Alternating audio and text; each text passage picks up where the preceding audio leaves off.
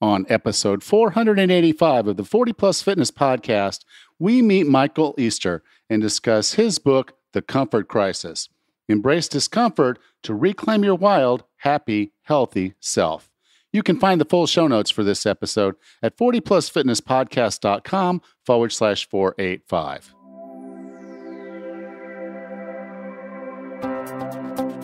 Have you decided you're ready to make a change? To reclaim your health and fitness. The 40 Plus Fitness Podcast is here for you. I'm your host, Allan Misner. I'm an NASM certified personal trainer with a specialization in corrective exercise and fitness nutrition. Let me be your coach as you find your way on your health and fitness journey. All right, let's go. This episode of the 40 Plus Fitness Podcast is sponsored by Naked Nutrition. What does getting naked mean? For supplements, it means no unnecessary additives. It means premium sourced ingredients without fillers, so you don't need to compromise on your diet or your goals. That's what Naked Nutrition offers. Back in 2014, a former college athlete didn't understand why protein powders and other supplements had so many unnatural ingredients. If they're supposed to be health supplements, why can't you understand the ingredient list? Naked Nutrition was started with five single ingredient supplements including the best selling Naked Whey, which has only one ingredient whey protein from grass fed California cows, and the best selling Naked Pea, a vegan protein made from one ingredient raw yellow peas grown in the US and Canada. The company has grown to offer over 40 products, but the vision of sourcing the best ingredients, using as few of them as possible, and being transparent so you know exactly what's going into your body is the same today as when the company was founded. Whether you're working towards losing weight, having more energy, or improving your endurance to become a better runner, what you put in your body directly impacts how you feel and the results you get. Naked Nutrition is committed to shortening the steps between their farms and you. Get naked. Visit Naked Nutrition today. It's nutrition with nothing to hide. Use the discount code 40plus and get 10% off your first order. NakedNutrition.com. Let me ask you a question. If you were in the same place one year from now, same weight, same health markers, same fitness, how would you feel? Okay, now a follow on question. What are you doing to make next year better? Listening to Health and Fitness Podcast isn't going to do anything. You must take action if you want to change. In the 40 Plus Fitness 12 week gas program, we're doing just that. I provide the gas, guidance, accountability, and support. And you take the wheel and go. I'm so sure you'll get results on this program that I offer a full 100% money back guarantee. Action, results. If you're tired of being stuck in the mud, do your future self a favor and go to 40plusfitnesspodcast.com forward slash gas.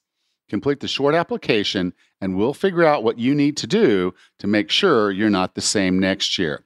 40plusfitnesspodcast.com forward slash gas. Hey, Raz, how are things going? Good. How are you today, Allan? I'm doing okay. It's um, it's been a really weird week here. We uh, uh I was supposed to uh, interview uh, uh, Dr. Bubbs again. I've had him on the show before, and he has a really interesting book out. So I was supposed to interview him, and then you know our our a power company announces oh, they're gonna turn the power off on Wednesday the whole day. Oh no! And so I was like, okay, so I have to cancel with him. I'd cancel a couple different appointments because I'm like, well, if I don't have power, I don't have internet. If I don't have internet, I don't have anything. So I canceled all this stuff, and then we had this really bad rainstorm and the rainstorm the night the day before knocked out my my phone so i was trying to have a call with the client and then i lost phone signal in a place Oh, that I always have phone signal. It's pouring down rain. I'm standing out in the rain. I'm walking around trying to find signal. You know, can you hear me now? Um, the whole thing. And then, so then, yeah, the next day I'm thinking they're going to turn off all the power, but because it was raining, they didn't turn off the power. And then there was a strike on the mainland by the banana workers, the, you know, the workers that work on the banana farms, uh, Oh. because they don't like how management's doing things. They decided to cut off the ferry to the island, and therefore they couldn't bring diesel to the island for the power plant, and therefore they were going to have to cut power again. Oh my goodness. This That's so time- crazy. this time it was like we were going to have to cut it and they said we're going to cut it at six o'clock. And the you know, of course, the merchants on the island are like six o'clock on a Saturday night. You're going to oh. cut power to the whole island. And they're like, yeah, we got to do that. And I'm like, no, no, can't you wait till six o'clock and in the morning and then cut it then? You know, yeah, you'll be lower in fuel, but then you cut it and we cut it till we get fuel. And they're like, so they agreed to do that and then it turned out about midnight they negotiated a deal and they let the ferry come over so they never had to cut the power but it was just kind of one of those wow. you know, power the power is going to go out because they're going to do some maintenance then the power is going to go out because there's a strike and then it's just been a very interesting third world living on an island. That is quite an adventure my goodness how crazy. So slightly uncomfortable um, i would say so so how have you been up up there in Michigan? Oh, good, good. It's been beautiful up here. We actually did a whole lot of yard work over the weekend, expanding some garden space and um, put down some new mulch and making it nice for um, the time we spend outdoors. So it's it's been really nice. Heated heated running trail. Um, Not yet, uh, but it's on my list. it's on my list. Just don't forget, winter's going to come back around. Don't yes. forget. You know, now now that the ground's thawed, is yeah. that, actually. We're supposed to get snow tomorrow, actually. Oh, okay, but that's yeah. nothing. That's nothing. Just no, a normal, normal little snow shower in April, late April. That's right. Spring, spring snow showers. Hopefully, it won't be that bad.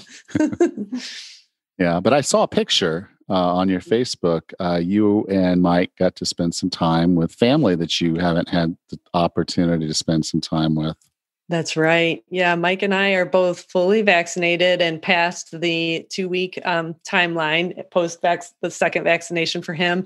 And my parents have been vaccinated for some time now. So we were able to meet them and have lunch. And I even got a hug. And it's important because I haven't hugged my parents since um, over a year ago before the lockdown. So, you know, I've been nervous to give them COVID or to make them sick in some way. So we've been very careful this whole time. And and now that we're vaccinated, it's just a little bit um, it's a little bit more comfortable, you know, getting in closer proximity again. So it was really wonderful to be able to hug my parents again. That's really cool. That's mm-hmm. really cool.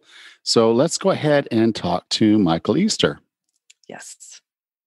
Our guest today is a contributing editor at Men's Health magazine, columnist for Outside magazine, and professor at the University of Nevada, Las Vegas. His work has appeared in more than 60 countries and can be found in Men's Journal, New York, Vice, Scientific American, Esquire, and others. With no further ado, here's Michael Easter. Michael, welcome to 40 Plus Fitness. Hey, thank you so much for having me. You know, your book is called The Comfort Crisis Embrace Discomfort to Reclaim Your Wild, Happy, Healthy Self. And um, the stories that you you tell in this book um, could have left you well obviously wild uh, probably unhealthy and unhappy uh, had had things happened in a different way fortunately yes it's a happy ending and michael's still here to tell us the stories but you've had some pretty interesting adventures I have, yes, and I luckily, yeah, I am here to to talk about them. So, in reporting the book, the main arc of the book is this 33 days that I spent in the Arctic backcountry. Um, it's one of the most remote places in the world, uh, one of arguably the most uncomfortable places in the world. So, we faced, you know, a lot of crazy temperature swings and blizzards and encounters with wild animals. Um, and it was a way to really put myself into these, I guess I'd call them evolutionary discomforts that we as humans used to face every single day of our lives. And because of this, we developed these drives to always want to be comfortable, right? Because when the world is uncomfortable, if I'm always seeking comfort, well, that helps me survive. Things like uh, I don't want to put physical effort into my days because that wastes energy, right? So that's why we don't like to exercise. All these all these different things. And we now live in this really comfortable world. I mean, everything our daily lives have become so comfortable, everything from you know, temperature control to our food system to the fact that we've engineered effort out of our days. Everything is easy. And so now we have these these uh, evolutionary mechanisms that no longer serve us because when i'm trying to always be comfortable in a world that's comfortable you know, it's it can backfire on people. Yeah, you know, my wife and I we moved to Panama, and and some people would say that that would definitely make them uncomfortable to just sell everything they own and move to a foreign country, uh, particularly one where they didn't actually speak the language. Um, and you know, my wife had only seen it for like four days when we made the decision to just sell our house and move here. Um, so we've done some things to make ourselves uncomfortable, but not anything like what you've experienced. So you've you've done some pretty cool things uh, around this topic, and uh, I'm really glad to have this conversation to to talk to you. Now, uh, you kind of got into the fact that because we kind of have this desire to seek comfort, uh, being comfortable is not always a really good thing for us. Can you can you talk about the price of comfort? Yes. Well, I think what's interesting to think about is just how long humans lived in this uncomfortable environment.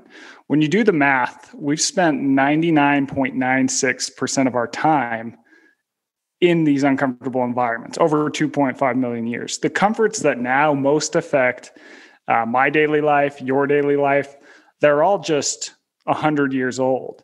And by pushing ourselves into comfort all the time, we've lost a lot with our health, uh, our happiness, and just the feeling of being alive. So, for example, with our health, it used to be that food, uh, we didn't really have comfort food. It wasn't ultra processed. Food was also harder to come by. We actually had to put effort into getting food. Now we live in this, you know, sea of ultra processed food, but we still have these internal drives to eat sugar, salt, fat, and eat too much of it. That used to keep us alive because it would help us onboard fat. And then when we had lean times, we would have something to draw from to stay alive. But now these drives are sort of causing obesity uh, they tell us to not move as much as we would, as we should, to burn it away. Uh, in terms of happiness, we humans tend to do well when we're challenged because it gives us a sense of accomplishment. And so, as we evolved, we face challenges all the times. These could be from you know something like a hunt, having to um, having to migrate something like this. Nowadays our challenges are often something like i have to give a powerpoint presentation or or, or whatever it is right? And there's just not as much reward in the challenges we face. And this is associated with decreasing levels of happiness uh, increases in, in anxiety. Because if you think about you know the most dangerous treacherous thing you face is that your boss might give you a bad look because you messed up on a powerpoint well you know the you're going to be anxious about a lot of things. Um, and in terms of just the feeling of being alive i mean we evolved in nature for example and like i said we would do these challenging things in nature all the time and that's really woven into our to our dna you look at the work of you know someone like joseph campbell with the hero's journey it's every culture from around the world has these stories about people doing interesting, sort of epic things in nature, and that being a real turning point for them internally. Well, we've lost a lot of that nowadays that we've made everything as safe and comfortable as possible. And I'm not suggesting that everyone needs to go up to Alaska at all. Uh, but what I am suggesting is that adding a little bit of discomfort back into your everyday life in a variety of forms can really move the dial on your health and happiness. And it's and it's about meeting people where they're at so, you know, something that is comfortable or uncomfortable for one person may be totally comfortable for another. It's just slowly pushing your comfort zone. And by doing that, I think you can you can find a lot out uh, about yourself and also move the dial on your health and happiness. Yeah, uh, Donnie and Tom don't have enough space on their airplane to take us all up there. Um, yeah, exactly. but you know, there there is some value to being uncomfortable. Uh, you know, one that kind of comes to mind for me was if we were always comfortable. You know, for we came up with inventions. We came up with fire. We came up with riding a horse. We came up with a lot of different things that we do. Uh, and there's just, and we call it progress, you know. So mm-hmm. in many cases, adding comfort has been progress. Um, and so there is a value uh, to to comfort or seeking comfort, but there's a point, like you say, I guess it it be, we we pass that line. Yeah, absolutely, and I think it's it's really about balance. So if you look at all the data on how the world is doing, I mean, I think the world right now is better than it's ever been. people live longer. Um, you know, child mortality rates are down. Uh, hunger and starvation is down across the world. I mean, just every marker, we're we're doing better off. But we don't we never offset that with um, the discomforts we need to be healthy and happy. So if you ask you know, if you ask the average person, they've done polls, do you think the world is getting better? Only 6% say that they think the world is getting better, which to me suggests we're missing something that makes us happy, right? And I think it is that challenge, those elemental uh, discomforts that we sort of evolved to face. Yeah, well, I, I, think we can all kind of agree that the, the best stories are the ones where there's a, a chance of failure, a chance of really screwing up you know that that hold my beer moment. Uh, those are the best stories because there's that element of discomfort there's that element of in some cases even danger. Um, can you kind of talk about the value of making yourself uncomfortable uh, but then of course not dying in the process well i think i think the nice thing too about the the modern comfortable world is uh, it's a lot harder to die nowadays right? And so i think that i think we have a lot of fears that we built as we evolved because those used to keep us safe. But nowadays i mean there's a lot of safety nets in life. And we you know we even have technologies that that can keep us safer. So for example when i was in alaska i had this little gps thing that kind of had this orange button you press if things go south and hopefully you know it alerts someone to come pick you up now apparently it takes a handful of days for them to arrive but it still would you know it's yeah. i wouldn't have had that even 20 years ago 25 years ago like i was mentioning the work of uh, joseph campbell we know that when we challenge ourselves and put ourselves in position where there's a high degree of failure that when we come out on the other side of that, we are better for it. It can help with a lot of uh, fears uh, fading away. So, for example, we get up to the uh, Arctic. We're in Kotzebue, Alaska, is the town that we we left out of, and I'm standing on this runway. The wind is gusting, and the guy that I was up in the Arctic with, Donnie, he leans over to me. We're looking at these planes that we're going to take up there, and these planes are about the size of a pack of gum. I mean, two people fit in them.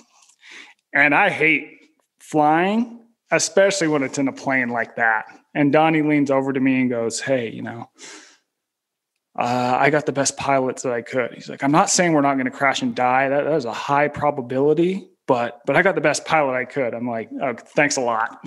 so, I mean, I'm terrified of getting in this plane, right? So I get in and we fly and the whole time i'm just like oh man this is this is terrible. And then they drop us off in the arctic and and in the arctic over 33 days i face all these challenges that i've just never faced in my life right? Having to cover this rough terrain with no safety net you know seeing wild wild animals uh, being exposed to you know hurricane force winds and blizzards and just all these things that are are real challenges that have a high degree of risk when that plane came back and picked me up 33 days later, I wasn't afraid to get into it. You know, because now I can put in perspective that, oh, wow, this is actually not that, you know, there's a pilot here who's 50 years old. He's been doing this for for 30 years but when when your challenges in your daily life and the things that you have to encounter really are very safe i think it can throw off your perspective on on what makes you afraid and so by putting yourself in positions of failure, you're going to learn something about fear and how a lot of our modern day fears are sort of unfounded and how those can hold us back from the things we really want to do in our lives. Yeah, you you you talked a lot in the story about you know I guess at one time you were they of course they had to shuttle you guys out there so they just sort of left you out there at one spot where they you know so we'll, we'll be back, we'll be back and pick you up you know it's like how well do i know yeah. these guys uh, you know how much totally. I, I, already paid them the deposit so uh, you know am i going to make it um, and so you have those kind of things where you know you're kind of afraid to be alone but i think the deeper thing for me was that you noticed at points in time during a hunt and you know having hunted when i was a kid you're just sitting there looking at me as a pine forest in South Mississippi. Uh, but 99% of the time that you're on a hunt, there's absolutely nothing happening. And so you get really, really bored um, unless you've conditioned yourself to kind of go with it. And and I think you know one of the core things you brought up in the book that I was just kind of critical is we don't even know the value of actually being bored. We we want something to entertain us all the time. It's like we get in the car, we turn on the radio uh, or a podcast, um, maybe this one, but we we don't turn this stuff off and actually just sit there and stop and just you know. So we're, yeah. we're literally hearing our heartbeat because we're that bored that we're like counting heartbeats and you know watching watching a blade of grass and saying you know i, I think i saw it twitch you know yeah. um, you know that kind of thing. Can you talk about the kind of being bored and, and why being bored is not actually a bad thing and why maybe we should actually lean into it? Yeah. So to your point about you know being in the woods in mississippi and you're just kind of waiting. Hunting is a lot of waiting sometimes and that's something that I was not used to. So we in the Arctic, we would sit on these hills and we were hunting caribou. So we would have to wait for these caribou to they're migrating. So you're trying to catch them as they're uh, moving into their to their wintering grounds. So you'd sit on this hill, and my cell phone does not work up there. There is not a lick of service within hundred miles. Uh, so the thing is essentially useless. I didn't bring a book. I didn't bring magazines. I sure I surely didn't have a TV. So what I'm left with is I would start to read labels on my energy bars. I would start to read the labels on the clothes I was wearing. And then when that gets boring, I start thinking of ideas and I start thinking of all these other things. And it was really interesting because nowadays, anytime we feel bored, we have this constant ability to kill our boredom, this discomfort of boredom. Anytime you feel a twinge of it, I mean, think if you ever look at a supermarket line, what is everyone doing? They're on their cell phones. Even 20 years ago, you would have to sort of stand there and be with yourself and with your thoughts. The brain essentially has two different ways of, um, two different modes. And in the book, I simplified and I call them focus mode and unfocused mode. Well, focus mode is any time that you are focusing on anything in the outside world. So your cell phone, as you're listening to this podcast, you're having to process information from the outside world. And this is like an active, it's almost like a workout for your brain. Uh, the other mode is unfocused mode. Now, this is internal mind wandering. So this is the mode that I was in when I'm sitting on the Arctic tundra, trying to, you know, think of ideas and just having thoughts come into my brain. And this is essentially a rest state. It rests and restores your brain. Now we've totally tipped the balance. Modern life has tipped the balance. So we're always in this focus mode. And it's just like constantly trying to work and work and work our brains. We never experience boredom, this time where we have to go inward and be with that little bit of discomfort and then send our minds down different ways of mind wandering which restores our thinking and creativity. So the benefits of boredom you know research shows that it it revives your brain. Um, not being bored enough is actually associated with high rates of anxiety because it's you know you're just really taxing your outward system it's associated with more creativity. And I think part of that is because nowadays, when we're bored, if we just pull out Instagram or Twitter or whatever it is, we're focusing on the exact same type of media that everyone else is. And we're not having time to come up with ideas in our own mind that are our own ideas. Experiencing boredom is associated with more focus and productivity. But I think one thing that is, that is key is you hear so much today. You need to be, you know, get on your phone less, get on your phone less. If you look at the data, people actually spend a lot more time engaging with all different kinds of media. Like people watch twice as much TV as they do have screen time on their phones. We've inserted essentially 11 hours, I think is the average, 11 hours and six minutes to be exact, uh, digital media in our day. That's how much time we're spending engaging with digital media. So I tend to think about it instead of less phone, I tend to think about it more as more boredom? How can I just find these spaces where I can just have no outside stimulation and allow my mind to go inward and sort of revive and reset? And if we can do that, even though it's uncomfortable, I mean, it's much easier to just go on Instagram. Uh, I think we're going to move the dial a lot on our mental health. And you'll find often with with a lot of these discomforts that I'm talking about, there's an initial period where you're like, man, this really sucks. I don't like this. this is uncomfortable. But after a certain time, once you sort of get through that rough patch, you're like, oh, I see what I'm doing this for. And you start to really see those rewards. I mean, nothing in life whether it be something very simple like not being not defaulting to TV or your computer or your phone, uh, or whether it be like a massive, massive workout or challenge is ever going to be easy. So just accepting that there's going to be that hard part and going through it anyways, uh, you'll see that benefit.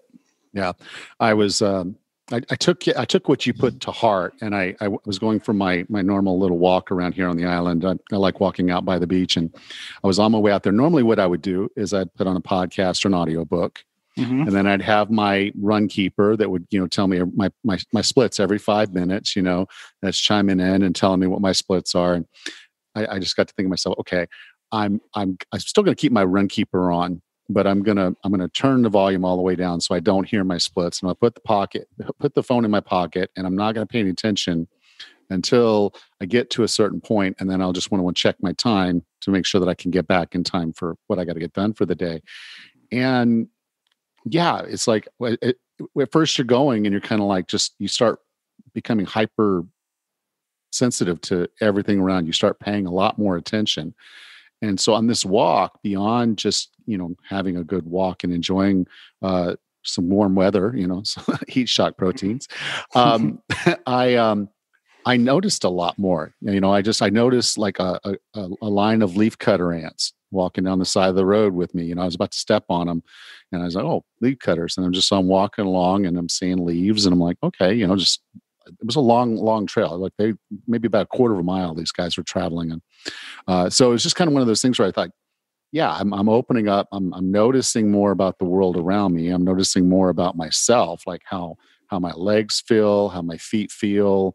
Uh, you know, just just the whole bit of it, and it just gives you a lot more time to actually get in, get in your head and, and think versus yeah. a lot of times we try to turn that inner voice off and I think a lot of times it's because we just don't like that guy. Um, yeah. and then you're like, well, I'm, no, I'm, I'm going to get to know that person. And the only way I can do that is to be alone with them. Yeah. I love that story. That's so great because the thing about those leafcutter ants is you're going to remember them for next year, five years, 10 years. Oh, I was here and I saw that row of leafcutter ants doing their thing, moving through the world that's going to create an impression in your mind. And isn't, I mean, this is the stuff that we're really going to remember. I mean, I think that the media is obviously amazing. It's incredible. Yeah. It's so fun to see what people are doing on Instagram and getting cool ideas and listening to podcasts like yours. I mean, there's a ton of value in this stuff. There really is. But I think it's figuring out the balance, right? If if our de- we are programmed to default to always being stimulated, never wanting to be bored, and we just have the easiest out for that. So I think we need to reinsert uh, boredom into our lives because when we were evolving, we had long periods of boredom, and these help these helped us be productive and you know effective humans. And we've sort of removed them, and there's been some serious downsides but i but i love what you say about that. And and i think that you know you're smart because you're you're doing it in a way where you can still use the technology. You're just figuring out well how do i use this smarter so i can sort of balance it? I can get benefits of boredom but also this super cool technology that we have access to. You know the answer isn't like we don't all want to live like luddites. That's yeah. that sounds terrible to me. But it's uh it's the balance yeah, and, and, the worst part of it was I was sitting there saying I, sh- I should pull my phone out and take a picture of these ants, and I'm like, no, yeah. no. That whole purpose was to to not interact with my phone this whole two hours, and uh, yeah, and those ants are yours. I can post, you know, yours well, I can post, I can post it on Facebook. Everybody, that's so cool. I get those likes and and retweets, yeah. and, you know, all that stuff. And I was like, no, no, that that breaks the whole purpose of why I'm here. I'm not here to to do a documentary on leafcutter ants. I'm here to yeah. enjoy enjoy enjoy some time with myself. This episode of the 40 Plus Fitness Podcast is sponsored by Naked Nutrition. What does getting naked mean? For supplements, it means no unnecessary additives. It means premium sourced ingredients without fillers, so you don't need to compromise on your diet or your goals. That's what Naked Nutrition offers. Back in 2014, a former college athlete didn't understand why protein powders and other supplements had so many unnatural ingredients. If they're supposed to be health supplements, why can't you understand the ingredient list? Naked Nutrition was started with five single ingredient supplements, including the best selling Naked Whey, which has only one ingredient whey protein from grass fed California cows, and the best selling Naked Pea, a vegan protein made from one ingredient raw yellow peas grown in the US and Canada. The company has grown to offer over 40 products, but the vision of sourcing the best ingredients, using as few of them as possible, and being transparent so you know exactly what's going into your body is the same today as when the company was founded. Whether you're working towards losing weight, having more energy, or improving your endurance to become a better runner, what you put in your body directly impacts how you feel and the results you get. Naked Nutrition is committed to shortening the steps between their farms and you. Get naked. Visit Naked Nutrition today. It's nutrition with nothing to hide. Use the discount code 40plus and get 10% off your first order. NakedNutrition.com.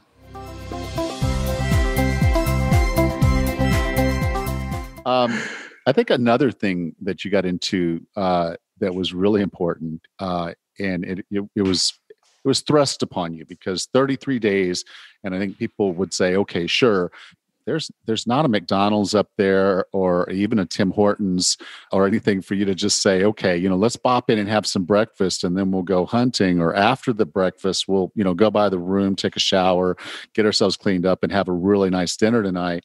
You know, I hope they have that wine we had last time.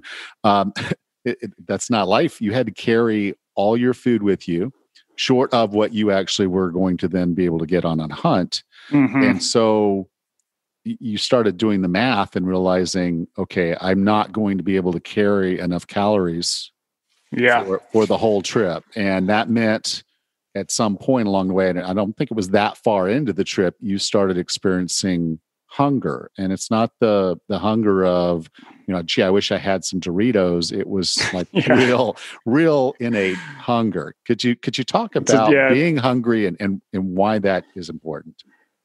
Sure. So when we did, when you run the numbers, we, you know, we're carrying these heavy 80, 90 pound back, uh, packs all over the place. The landscape is, you know, hilly and treacherous, and we're probably burning, I don't know, somewhere between 4,000 and 6,000 calories a day.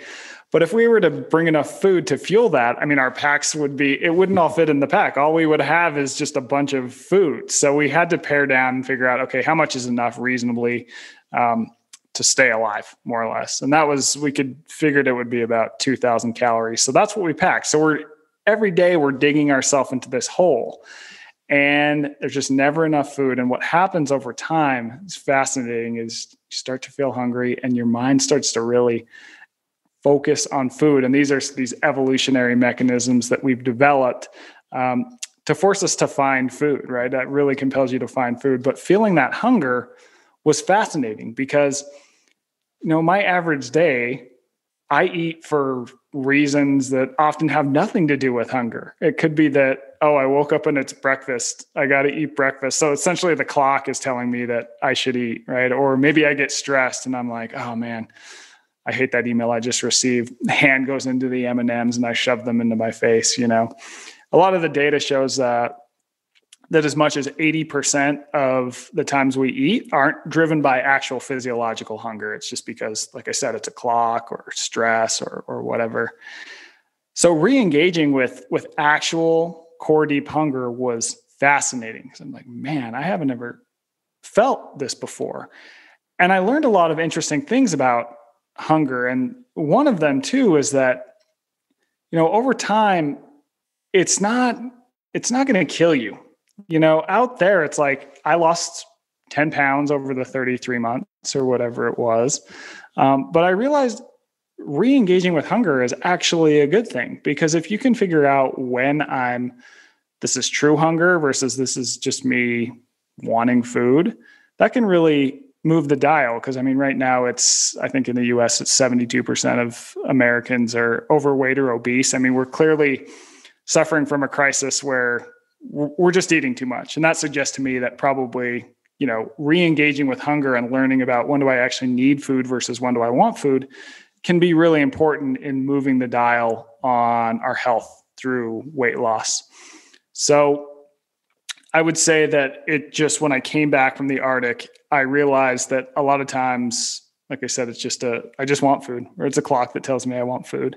And feeling that hunger uh, can lead to a lot of internal uh, physical change. So I think, you know, embracing hunger is important. And, you know, I, pe- I know people get really, um, I guess I would say ideological. I don't know if that's the right word about certain diets and and all that. Um, my own opinion is that if you look at all the research, it um, weight loss is primarily driven by calorie balance, and so just figuring out a way that you can you can eat that uh, will control your hunger, but you're not eating too much is important. And so in in the book, I talk about uh, ways of, of certain foods that research suggests tend to help us fight hunger, but also control our calories. So these tend to be foods that we've often heard are not good for us, like potatoes or, or different forms of carbs that are unprocessed, that actually are good because they can help us control hunger and keep our calories low. It's this concept called calorie density, which is kind of a sciencey way of saying they fill you up without having as many calories as other foods.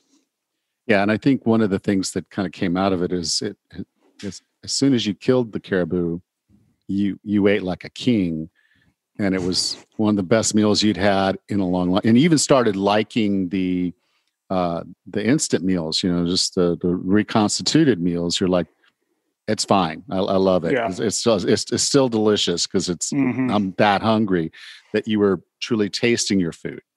Yeah. And and the, go ahead. I was going to say hunger is the best sauce.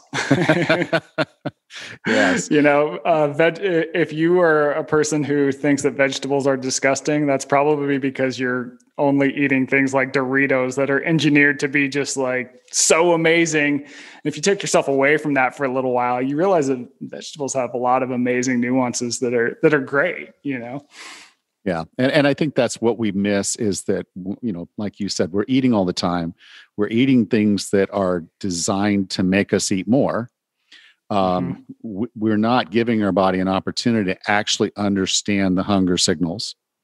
And then when food is available, which here it's always available, it's Mhm. everywhere, we tend to overeat. Um, and you know, they'll the dietitians they'll warn you, don't let yourself get hungry and then the food companies will take advantage of it and someone will be upset and not feeling good because they're hangry and they're going to tell them oh you need a snickers and so Mhm. that's the solution to your your hunger problem and it's not even true hunger because you haven't gone without food long enough or you've had enough food to not need that food but we, we haven't turned on those hunger signals and obviously you being out there for 33 days you turned on some hunger signals yeah, for sure. Yeah, I think in a lot of ways, food has become a, a widget for a way to solve for other problems. You know, I'm stressed. I'm going to eat. Um, I'm bored. I'll eat.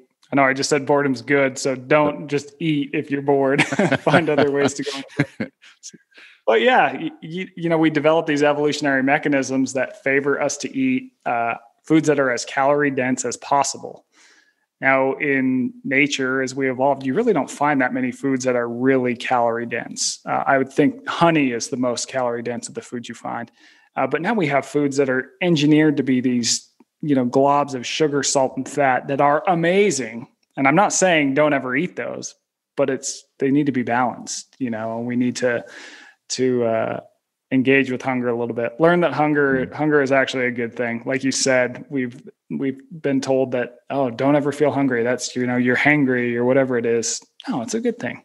Yeah, and I- and I think if you had to take several bee stings uh, to get that uh, high calorie dense food, um, instead of buying it in like you said a cute little jar uh, that's shaped like a little bear, uh, we probably wouldn't do it as much. But um, Yeah, so it's okay to be hungry you know like you said i mean we, we use the term starving but that's not the right word and even in your situation you, you knew you'd, you'd brought enough food to probably not starve. Yeah, uh, but it also heightened your your desire to to do something so it, Yeah. it, it kept you motivated and driving rather than just saying i'm going to go cuddle in the teepee for the next uh, 20 days and hope i don't burn any more calories yeah, um, it got you moving. It got you guys doing more so that you could get that that kill, could get some food, um, and that's that's actually a good thing. If you can find the ways that are going to drive you to a better behavior, uh, you've got to be hungry for it, and that's whether that's eating the right foods or, or getting your food. Um, you've got to think of it in those terms. yeah. Yep, exactly.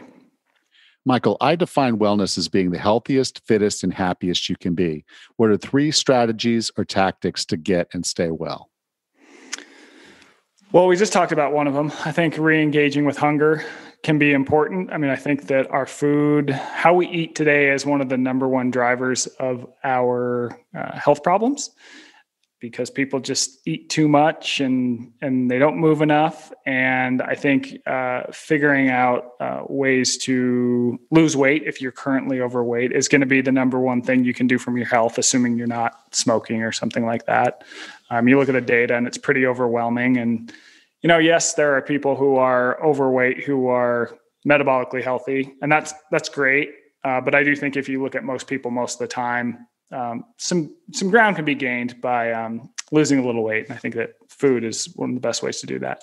Uh, number two, I would say, is that uh, I would love it if people would start thinking about how can I do epic things in my life. So for me, it was this 33 days in the Alaskan backcountry. Right, I go out there.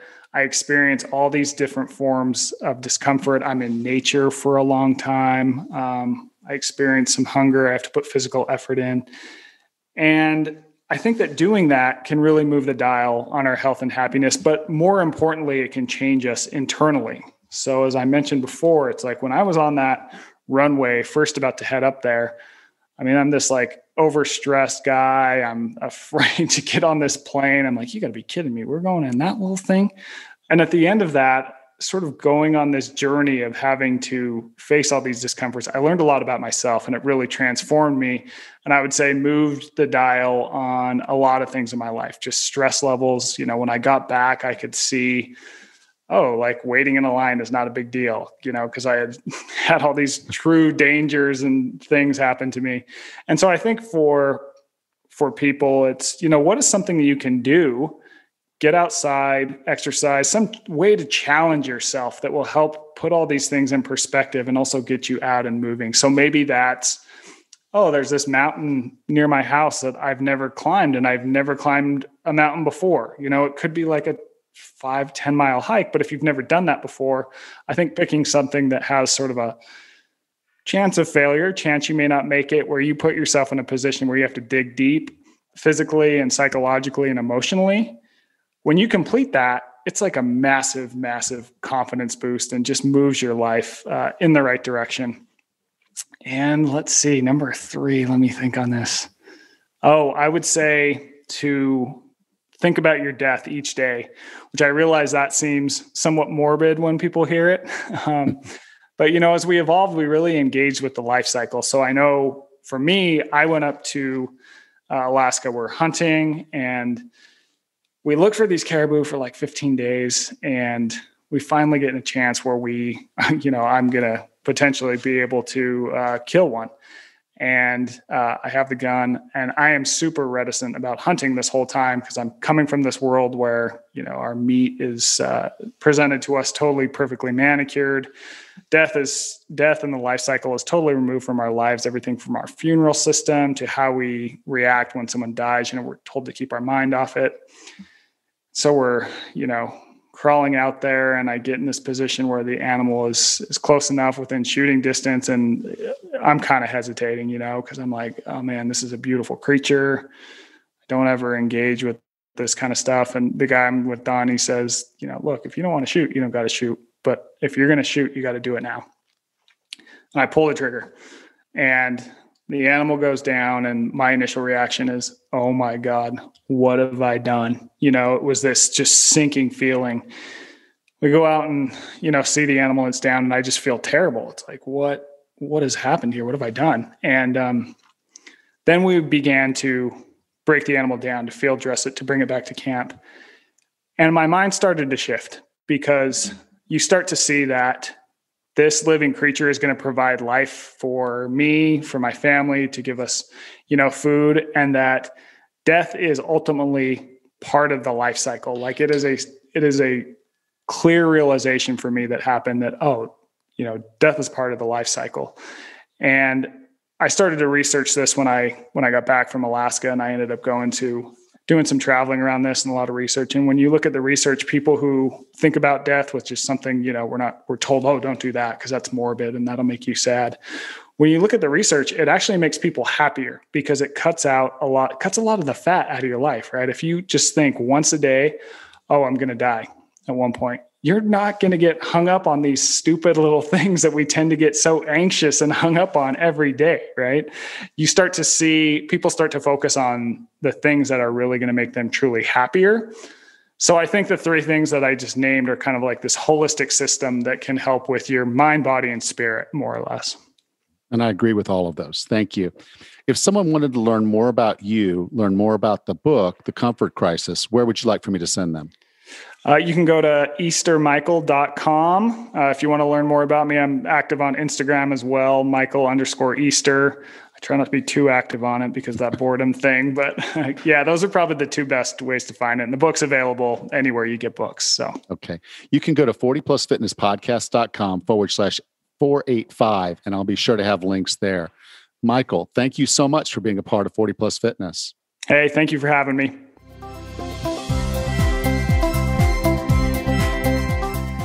Raz, welcome back.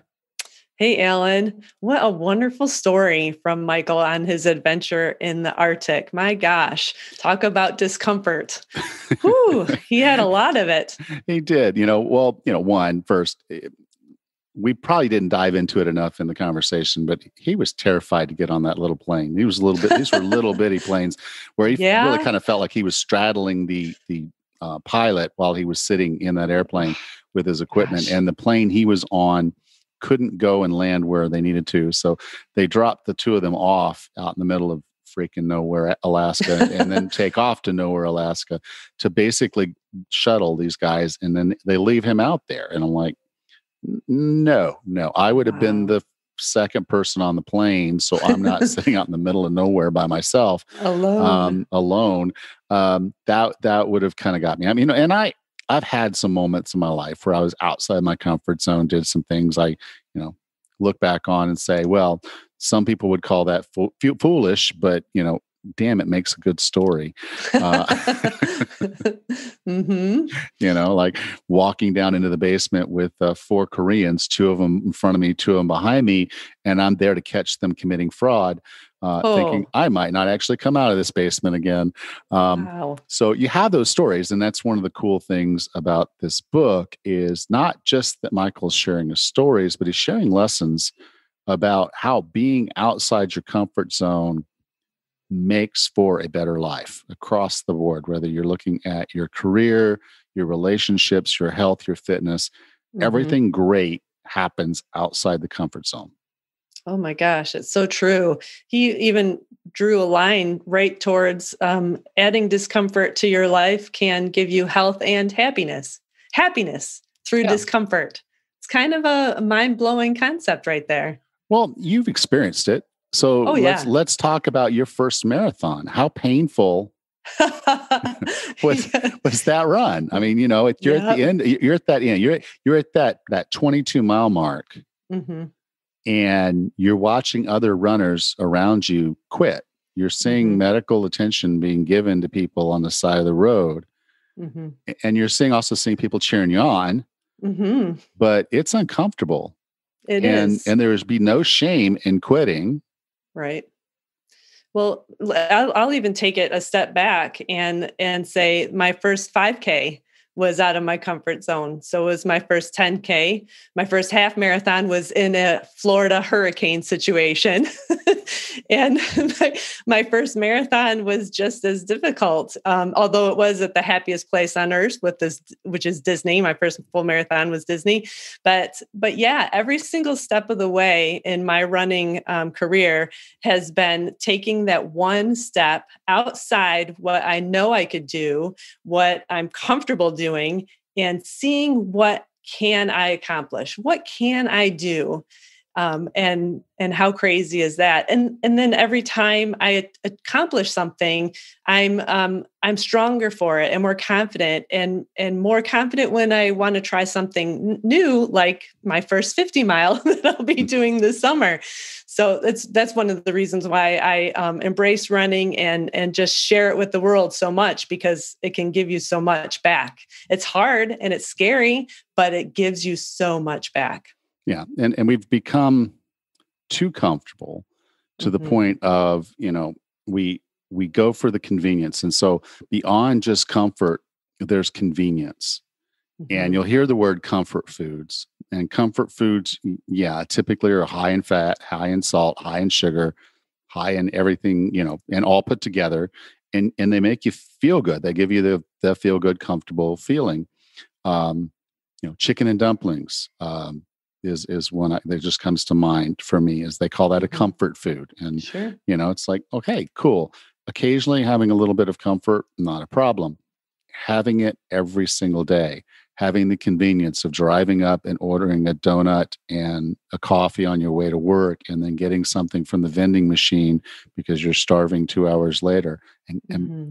for the record you're not actually starving no. you're just having a little bit of a sugar rush and then a yeah. sugar crash and that's what you're having and it's not you're not starving and so i think the recognition that if once we start seeing the comfort that's in our lives mm-hmm. and we start challenging that and saying is that comfort serving me or is that comfort holding me back Mm, we're almost blind to it because we're in it and it's just so easy and this is just the way it is and so mm-hmm. you know the more you can sit there and say is this the right comfort for me to be in. So, you know, granted, I want my room cool at night so I can sleep better. So we have an air conditioner in our bedroom. Mm-hmm. We don't have an air conditioner in the living space of the bed and breakfast. And so on a hot day like to, today is probably somewhere in the 90s and it's really, really humid. Ooh. And so sitting in the living room with the fans going um, is right on that edge of comfortable. I'm, you know, I'm sitting in my living room sweating most, most people don't want to be sweating when they're sitting in their living room. Mm-hmm. You know, mm-hmm. they're going to have the AC on. They're going to be very comfortable. Uh, they're not going to want to walk outside. To, I'll check the mail on my way to work tomorrow. You know, that kind of comfort. Mm-hmm. And it's mm-hmm. like, get out, you know, move around. Uh, don't be afraid of it. Um, so you sweat a little. Take mm-hmm. a shower before bed. Right. Um, so look at the comfort that's in your life and just say, is this is this serving me? Is this making me a better person? And there are times when comfort will. There you know i sleep better when I, the room temperature is cooler uh, mm-hmm. uh, if we didn't have an air conditioner in there i wouldn't sleep as well. Um, we have a we have an air fryer and the air fryer can do you know the toasting the grilling i mean the baking the the air frying the the broiling. And so it's a very convenient um, comfortable device to have sitting on our counter. Mm-hmm. i don't use it to make pop tarts um, I use it to bake chicken or broil uh, steak or you know do those types of things. Um, so don't get don't think that all comfort is is bad. Mm-hmm. Um, it's not. It's just a function of saying, am I using comfort where where it matters? Sure. You know, a good massage uh, is comfortable. Having a comfortable bed is comfortable. Um, those are important things for your wellness but you know having complete access to all this food calling uber eats every night because you can um, never never getting hot never getting cold um, mm-hmm. you know, that's not how we were intended to to be we were intended to be a little uncomfortable most of the time uh, sure uh, and really uncomfortable some of the time mm-hmm. I think we've lost a little of that um, satisfaction of doing certain things for ourselves. Like you mentioned, cooking a proper meal from scratch versus ordering Uber Eats or something. You know, if you can gather fresh ingredients and make this wonderful meal for your family all on your own, just think of the pride that you'll have. Not even to mention the taste will be so much better than running out to a restaurant and getting some fat laden food but um, you've got pride in your food you've got a tasty meal plus it contributes to your health instead of taking away from your health so it's just these little things like if you can allow yourself that extra time to take the time to get the good food, to, to prepare a nice meal, to take a walk to the store instead of a drive to the store. If you can just take a minute to reassess and maybe give you that little extra time to do these things by hand and from scratch, just think of the satisfaction you'll have having accomplished all that. Yeah, and and I would even take it a step further and say, okay, so so imagine you do this. Um, you set up a, a plant bed in your backyard or a patio garden mm-hmm. and you plant some plants. Uh, if you have the space and you and your city allows it, um, you you raise some chickens.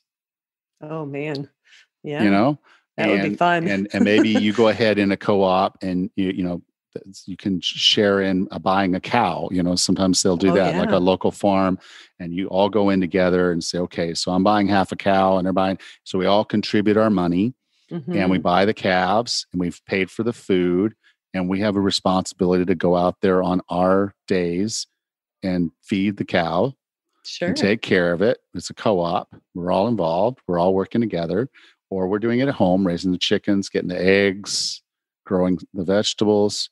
So you're growing mm-hmm. spinach, and you got the eggs, and so you're you know you make yourself a, an omelet with the spinach and the eggs that mm-hmm. you grew. That you know you took the little chick and you took the little seedling and you made yourself that meal from not just scratch but from actual dirt you yeah. know how how amazing and how satisfying that is I, I, that would be wonderful and it's not even just you i mean if you this was a part of your family this was like a mm-hmm. how we spend a saturday you know we spend the saturday my, my brother they raise chickens and so the, his little girls they know how oh. to care for the chickens and uh, they named all theirs, so they have no intention of eating the chickens, but they mm-hmm. eat the mm-hmm. eggs. That's um, awesome. Um, yeah, except for the the fox incident, but uh, oh, we don't want to talk. We don't want to talk about that. oh, no, no. But you know, it's just kind of one of those things of this is a learning experience for them to be able mm-hmm. to see where their food is coming from and recognize, okay, this is you know this is where all this stuff comes from, and it's not. You don't just go to the grocery store to buy stuff Oh yeah. You, know, you, you, you can you can do it yourself, and it's uncomfortable. It's extra work. It means you know a weekend where you're building something. You're putting you know dealing with soil and all the other stuff. You're learning new things. You're teaching mm-hmm. kids new things, uh, but you're spending that quality time together. And that's oh, again oh, yeah. the the value of discomfort can be the value of learning. It's the value of relationship. It's the value of better quality of pretty much everything in your life. And that, so that's what this book was really about. He's a fabulous writer. It's a re- really interesting story. Um, if you're anti-hunting, um, well, there is hunting in the book, but I want you to recognize the the concepts of it. He does talk about that because he had never hunted before, and so he's not oh. pro hunting even now. Uh, but he wanted to, the experience, and he went out and did it. Wow. Um, he doesn't know if he'll do it again. Mm-hmm. But it was just an experience that he wanted to have. All of the meat from that animal was consumed by him and his family. So he did bring mm-hmm. that meat home. Um, so it was not just an unethical trophy kill that you mm. see the pictures and you know that this was, sure. was these were legitimate hunts and for food wow. and controlled by the wildlife stuff. But just recognize that yeah, he made himself very very uncomfortable for 33 days, experienced yeah. a lot of things, has a lot of stories to tell, and he's a really good storyteller. So it's it's a really good book from that perspective too. Wonderful. It sounds wonderful. What an adventure he had for sure. All right, Rachel. Well, I will talk to you next week. All right. Take care. You too. Thanks. Next time on the 40 Plus Fitness Podcast, we discuss working out with your partner. Until then, have a happy and healthy day.